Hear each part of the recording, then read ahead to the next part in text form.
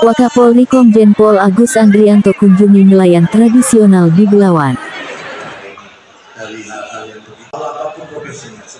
Wakil Kepala Kepolisian Republik Indonesia, Wakapolri Komjen Pol Agus Andrianto menyambangi nelayan tradisional di Pelabuhan Perikanan Samudera Belawan, PPSB, Kelurahan Bagandeli, Kecamatan Medan Belawan, Kota Medan, Kamis tanggal 21 September tahun 2023.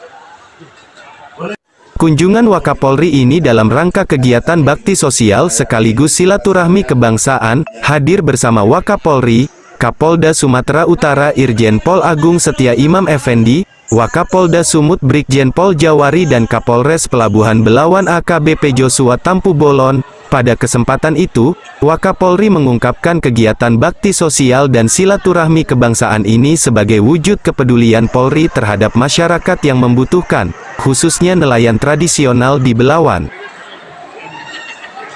Selain itu, lanjut Komjen Pol Agus, kegiatan tersebut juga bertujuan untuk menciptakan situasi Kamtipmas yang kondusif menjelang pemilihan umum, pemilu. Saya mengajak seluruh warga yang hadir untuk berperan aktif dalam membantu Kapolda dan Kapolres Pelabuhan Belawan dalam menjaga situasi Kamtipmas yang kondusif. Masih kata Wakapolri bahwa kegiatan ini merupakan langkah nyata Polri dalam mendukung masyarakat nelayan tradisional serta menjaga keamanan dan ketertiban di wilayah Belawan menjelang pemilu.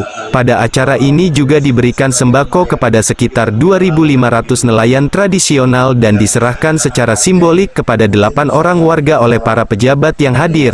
Hadir juga pada kegiatan ini, Kapus Dokes Polri Irjen Pol Dr. Asep Hendradiana, Direktur Tindak Pidana Ekonomi Khusus Bareskrim Polri Brigjen Pol Wisnu Hermawan, Irwasda Polda Sumut Kombes Pol Armia Fahmi, Kabit Tik Polda Sumut Kombes Pol Tony Aryadi Effendi, Kabit Propam Polda Sumut Dudung Adiono, Karo Rena Polda Sumut Kombes Pol Haris Budiharto, serta Wali Kota Medan Bobi Afif Nasution beserta pejabat dan tamu undangan lainnya.